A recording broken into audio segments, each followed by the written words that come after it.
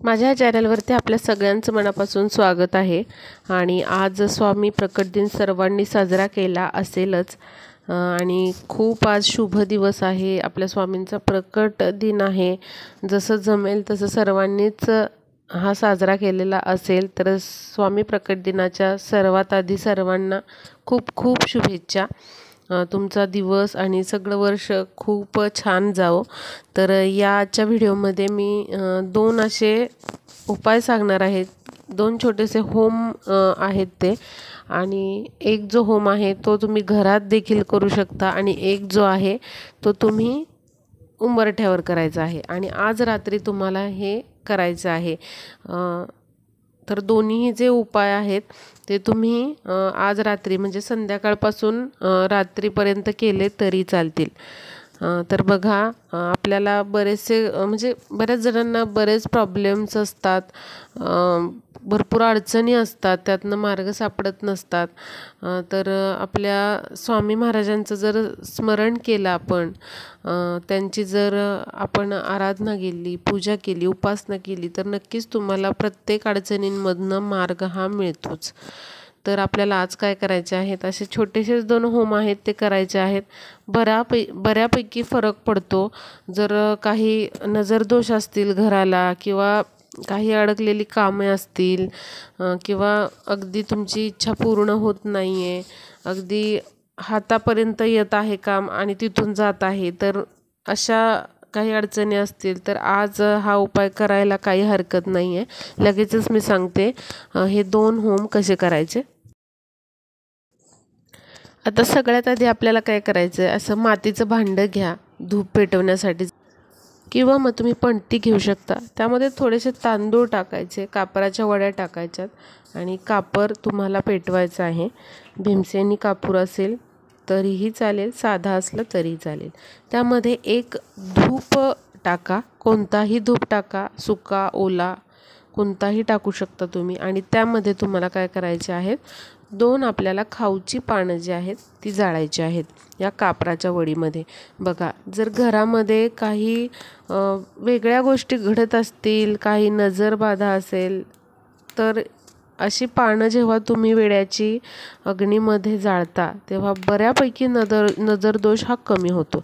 आणि हे अग्नीमध्ये आपल्याला पान टाकत असताना स्मरण करायचं आहे आपल्या कुलदेवतेचं आपल्या स्वामी समर्थ महाराजांना प्रार्थना करायची आहे की असा असा माझा प्रॉब्लेम आहे असा असा आमच्या घराला त्रास होत आहे. स्वामी यातून आम्हाला बाहेर काढा. आज मी तुम्हाला अशी प्रार्थना करत आहे. आम्हाला यातून काहीतरी मार्ग दाखवा. आणि हा जो धूर आहे तो तुम्हाला सर्वत्र तुमच्या घरभर पसरवायचा आहे. म्हणजे घरामध्ये जी निगेटिव्हिटी आहे ती निगेटिव्हिटी हा कापूर ही पानं जे आहेत ते खेचून घेतं. तर हा धूर तुम्हाला आत्ता तुम्ही केला तरी चालेल व्हिडिओ बघितल्यानंतर किंवा मग संध्याकाळपासून रात्रीपर्यंत कधीही करा. आता दुसरा उपाय हा उंबरठ्यावर तुम्हाला करायचा आहे त्यासाठी तुम्हाला काय करायचं आहे एक तमालपत्र घ्यायचं आहे तमालपत्र हे चांगलं असावं पान असं फाटलेलं तुटलेलं नसावं. देठ वगैरे त्याचं व्यवस्थित असणारं तमालपत्र स्वच्छ नवीन असं घ्या. आणि त्याचबरोबर तुम्हाला काय करायचं आहे तर तुम्हाला इथे मिरी लागणार आहे. तर इथे तुम्हाला सात मिरीचे दाणे घ्यायचे आहेत.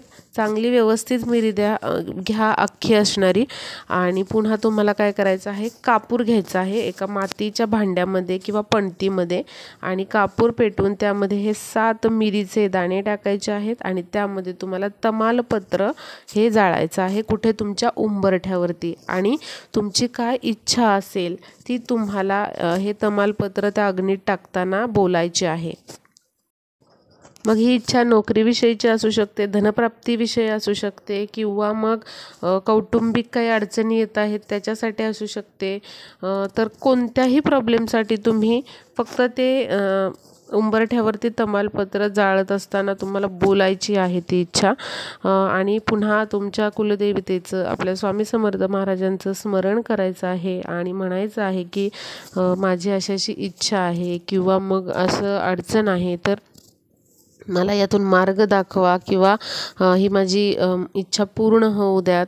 आणि तुम्हाला ते तिथंच उंबरठ्यावरती जळू द्यायचं आहे तमालपत्र. ते तुम्हाला आत तुमच्या घरामध्ये काही फिरवायचं नाही. तर हे दोन्ही उपाय खूप प्रभावी आहेत. नक्की तुम्ही आज संध्याकाळपासून रात्रीपर्यंत करून बघा किंवा मग तुम्ही दर पौर्णिमेला हा उपाय करू शकता.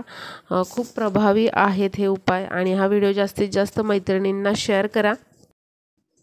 म्हणजे त्यांच्याही काही अडचणी असतील तर त्यातून त्यांना मार्ग मिळेल आणि हा व्हिडिओ युजफुल ठरेल. भेटूया पुढच्या व्हिडिओमध्ये.